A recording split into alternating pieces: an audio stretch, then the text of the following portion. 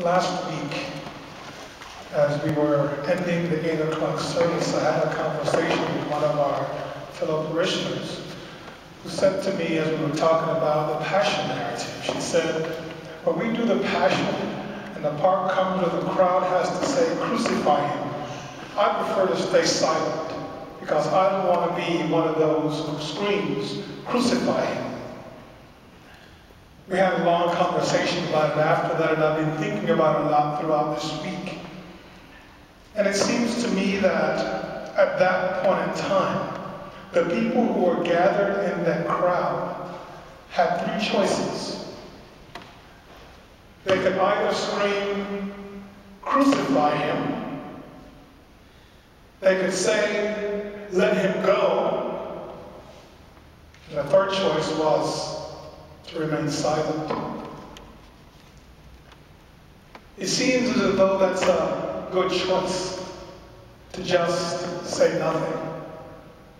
But in fact, just like when people say, when it comes time for elections, I'm not going to go to vote because there's no good candidate. And I say to them, well, if you don't vote, you're actually voting. If you don't give your opinion, then whoever the majority's opinion is will be the one to prevail.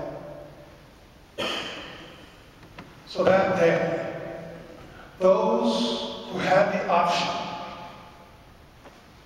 to choose to say crucify, let go, or remain silent, actually truly only had two choices. If you chose to remain silent, you actually went along with those with a loud voice who said, crucify him. When we choose not to speak, we actually speak very loudly. When we choose to stand and remain silent in the face of injustice, cruelty, hunger, despair, or any other type of situation that human beings can go through. We're actually choosing to support injustice, prejudice, and all those other things. Unless we raise our voices and say no more, this will not happen. If we choose to be silent instead of raising our voices, we have actually spoken quite loudly. I pray that during this Holy Week, which now begins, that you will find yourself building up the courage to speak up. Because we cannot live a true Christian life. We cannot truly be people of God if we decide that we're going to allow our faith expressed in our voice to be silenced.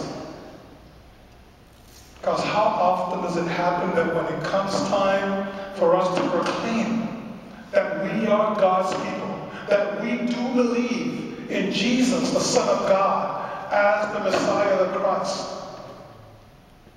we choose to remain silent and let the gospel go unheard. How many times do we fear being ridiculed and put to shame because of our faith and decide not to speak?